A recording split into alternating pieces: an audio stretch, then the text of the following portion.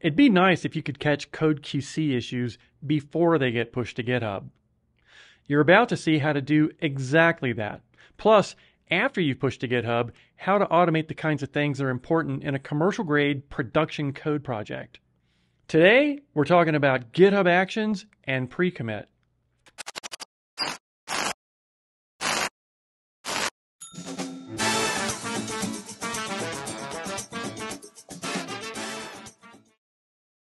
This video refers to v0.6.3 of the repo, and I put a link in the description down below. Pre-commit is an extensible command line tool that runs just before git commit. If you're coding in a popular language like JavaScript or Python, then there are lots of language-specific pre-commit hooks that you can add to your project. But even if you aren't, there are still a lot of important things that pre-commit hooks can look for in your project. The repo we're using today, link in the description down below, has around 8,500 lines of code written in various languages, and pre-commit runs 30 different kinds of checks on this code base before every commit. These cover everything from code syntax checking to code style, looking for unresolved merge conflicts, spell checking your comments. It can reformat your JSON and your YAML files, run a security analysis on your code, can even validate your README. It's a workhorse. It's a huge game changer that'll help you to take the quality of your code project to the next level. But once your quite clean commit makes it up into GitHub, well then there's GitHub Actions. If you're new to GitHub Actions, then you should check out my video, GitHub Pro Tips. We're going to see how to set up automated context sensitive unit tests right now, and also how you can integrate these into automated pull request and semantic release processes. Very cool. And actually, there are even more automation tricks inside of this repo, so stay to the end to see what these are. And for that matter, like and subscribe if you're into that kind of thing. I'm going to simulate a bug fix to some Python code which will trigger the automated release workflows. We'll see pre-commit QC this code change, and then once we're past that, what's supposed to happen is that a couple of GitHub Actions workflows will automatically kick off that will evaluate the nature of the changes. And assuming that that goes well, then I'll open a PR, triggering even more GitHub actions, which should detect the Python code in the commits and then initiate Python specific unit tests. Side note, there are different unit tests for each of the languages contained in this repo. If and when the PR is approved and merged to main, yet another automated process will analyze the commit comments to make a determination on whether a new semantic version should be released. It should. So it'll do that and then bump the Python package version number as well and add an entry to the change log, and then we should be nearly done.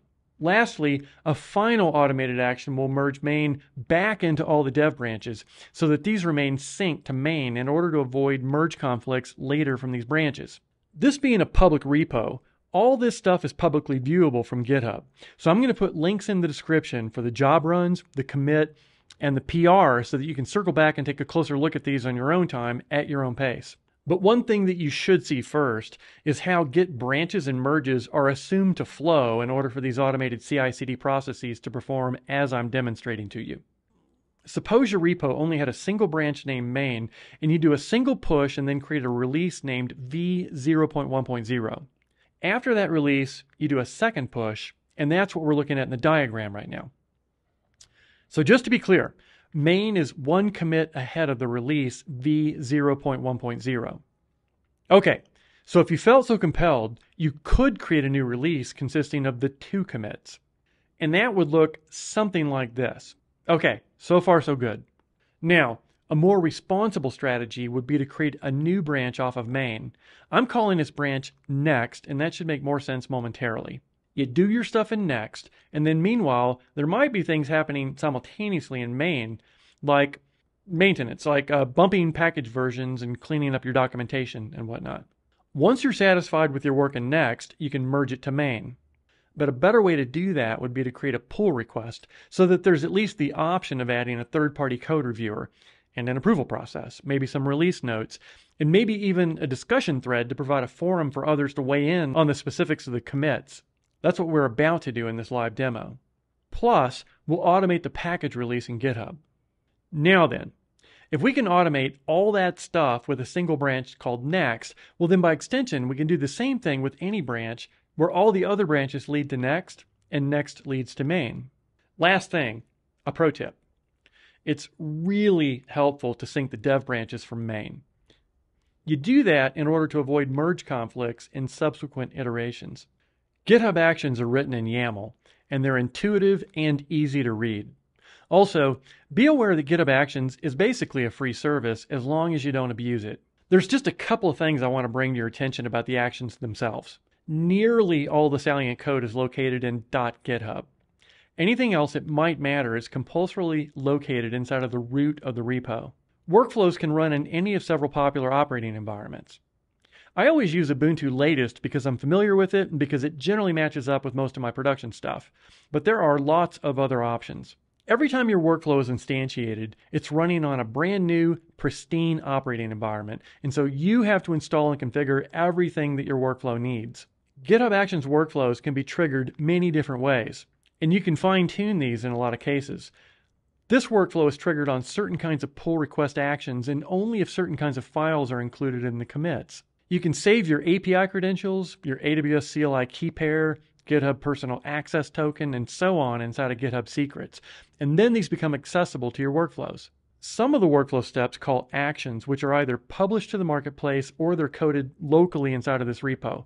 They both work the same way. Look in .github slash actions for examples. You can do anything in a job or an action that you can do on the command line on your dev machine. There literally are no limitations nor caveats beyond those of the CPU and memory resources that are allocated to the job itself.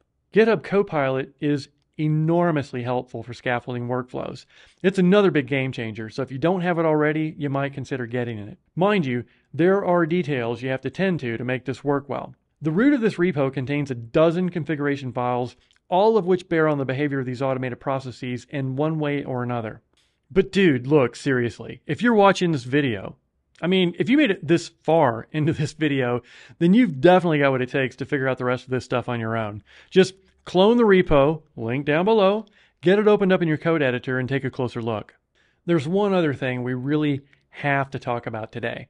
That's Dependabot. Acquired by GitHub in 2019, Dependabot is a tool integrated into GitHub that helps to keep your dependencies up to date. It does this by automatically opening pull requests in your repository to update outdated dependencies to their latest versions as it finds them. This project has dependencies for NPM, PyPI, and Terraform, and all of these are monitored and maintained by Dependabot. It sends you emails as it does stuff, so you get pretty granular, blow by blow, real time updates as it does its work. That's the big stuff that's being automated in this repo. I'll do more videos for these at some point in the future, so leave a comment down below if there's something in particular you'd like me to cover. But for now, that's it, and I will see you in the next video.